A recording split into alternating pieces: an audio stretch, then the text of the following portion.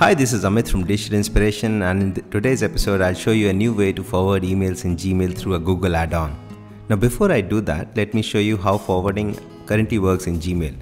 So, if I have to create a filter that will automatically forward all emails from the domain apple.com and those emails that have attachments to my other email address, what do I do? I go to the search box and create a filter. So I'll put apple.com as the from field. I'll turn on the option that says has attachment and create a filter and in the next step I will choose uh, the forwarding email address um, where I want to forward these emails to and then I create this filter. So this Gmail filter is now up and running and as soon as a new email arrives that matches all those conditions, it will automatically get forwarded to my other email address. So this is plain and simple and it works, but there are three main limitations. The biggest limitation is that you cannot forward your old messages, it only works on new and incoming email.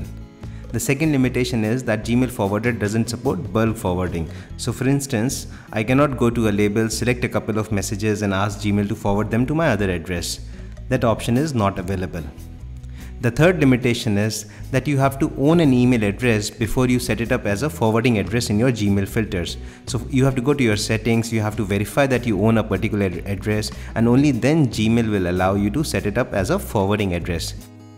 So there are three main limitations of the Gmail forwarder and we can get around each of these with the help of a new Gmail forwarder that's available as a Google add-on. Let me show you how. The first thing you need to do is install the Google add-on. You can find a link in the video description. Once the add-on is installed, go to the add-ons menu and under the email forwarder submenu, choose create new rule. What we are trying to do is create a new forwarding rule. So for this example, let's assume that I'm trying to forward all the bank statements from my bank to the accountant's email address. Now for that, I'll put the bank's uh, domain name as the from address because I want to forward all emails that are coming from the bank. Next, I will put statement in the subject line because I only want to forward statement related emails and not other messages. Next, I will specify my accountant's email address because I want all these matching email messages to go to him directly. Now the big difference you may have noticed is that there is no need to verify this address. I can set up a filter through this Google add-on and forward messages to any email address even if I don't own those addresses. There are a couple of other options that you may specify. For instance, if you have multiple email accounts linked to your Gmail account, you can forward messages on behalf of any of those addresses.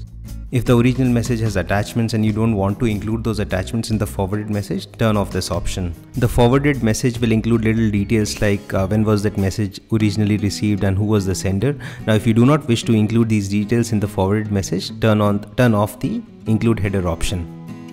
And finally, um, an email thread can have multiple messages and by default the Gmail forwarder will only forward the latest message that's in a thread. Should you wish to forward every message that's part of a thread, turn on the forward full conversation option.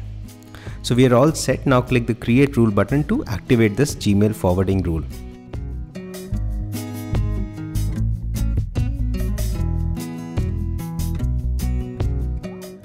So the rule has been successfully created and it will run in the background once every hour. But there may be situations when you cannot wait that long and you want to run the rule instantly. So for that what you can do is go to the email forwarder menu again and choose manage rules. Here you will have a list of all the available rules inside the drop down. Select the one that you want to run and choose run.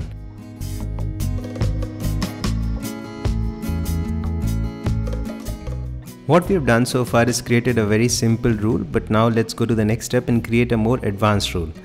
So for this example, let's say I'm trying to forward all my important emails to the other address, but not all emails that are important.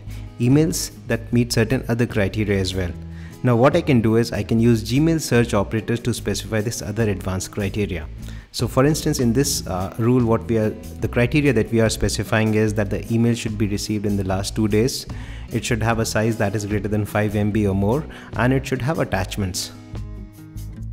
So the idea is that you can use the wizard to create more simple forwarding rules, or you can use any of the Gmail search operators to create a more advanced forwarding rule that uses more criteria before deciding whether a message should be forwarded or not.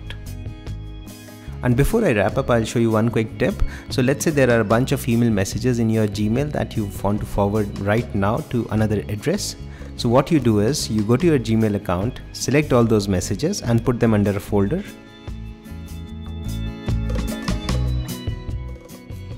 Next you go to your Google Sheet and create a new filter for that folder.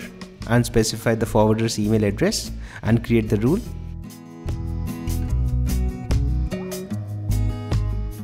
Once the rule has been created, go to manage rules, select the rule that you just created and hit the run button to forward all those messages right now. So that's it. I hope you like the Gmail Forwarder add-on and do visit my website ctrlq.org for more Google scripts and tips. Thanks.